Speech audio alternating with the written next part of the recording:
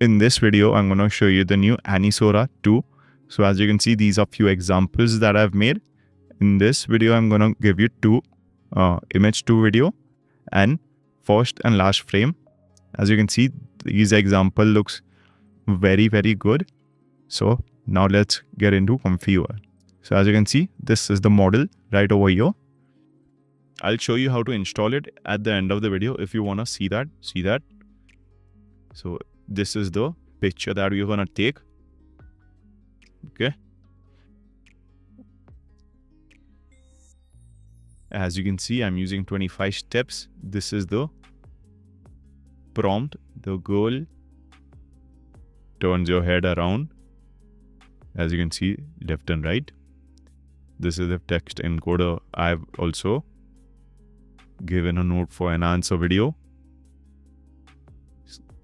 you can use the LoRa if you want. If you don't want, just keep it like that. So here's the video. But before that, let me give you the scheduler and everything. The I'm using UniPC and this is the video and looks pretty pretty good. Okay, and I'm using the RTX 4090 in this as you know, in Running Hub. So I've enhanced, upscaled the video as well if you want to use this. Okay, this looks better than the previous one, obviously. Now let's do another example.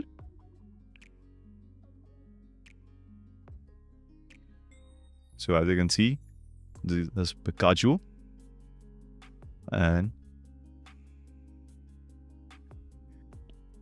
I'm using 720 by 480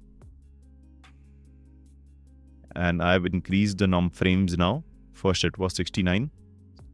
Pikachu holding a machine gun, he pulls the trigger and starts shooting while smiling. While shooting, he releases a thunderbolt from his cheeks. So the thunderbolt came out to be a little bit weird so I'm using 20 steps, CFGS6, Shift S5, and UniPC. So as you can see, this Thunderbolt, it's pretty, uh, like it had made the wrong thing, but still the video looks good and cool. Let me just save this. As you can see, I've also enhanced this video as well with the upscaler. Okay. As you can see, I'll do a side-by-side -side comparison if it's better or not. It is a little better, but let me just save this file for now. And hmm, I'll give this workflow down below. Join my Patreon page. It's free, but if you wanna donate, then you can do it for mem membership. Okay, so as you can see, this is the first frame and the last frame. I'm using 25 steps in this. As you can see, this is the model loader over here. Anisora, image to video. Okay. And as you can see, steps are over there. Let's see how many steps. The steps, 25.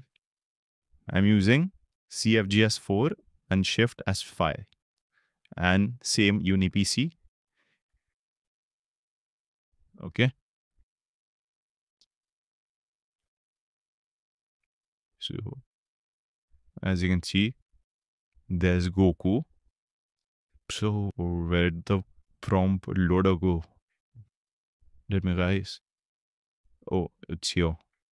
So I was finding the prompt loader. This is the prompt that a powerful anime warrior transforming into Super Saiyan muscular man. As you can see, this was generated by uh, ChatGPT.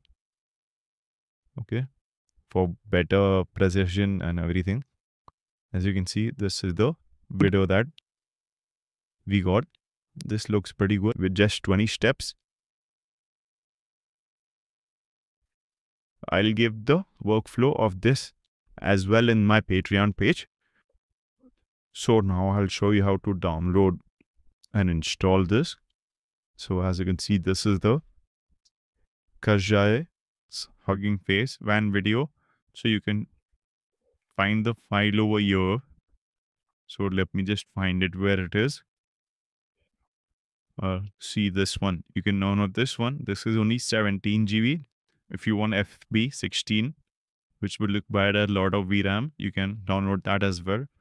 So as you can see, this is the Anisora's uh, GitHub page where you can find all the ports and everything.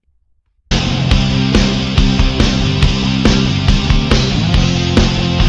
as you can see,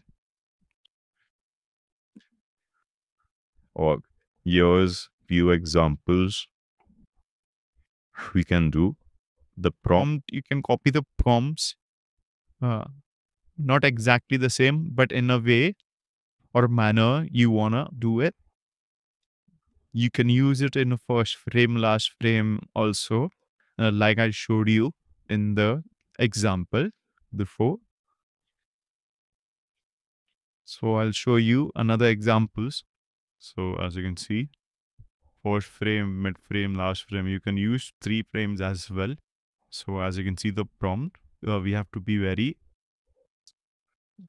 we have to be very descriptive and emphasize what we want and what we don't want, you can visit this site for a better understanding for the prompts.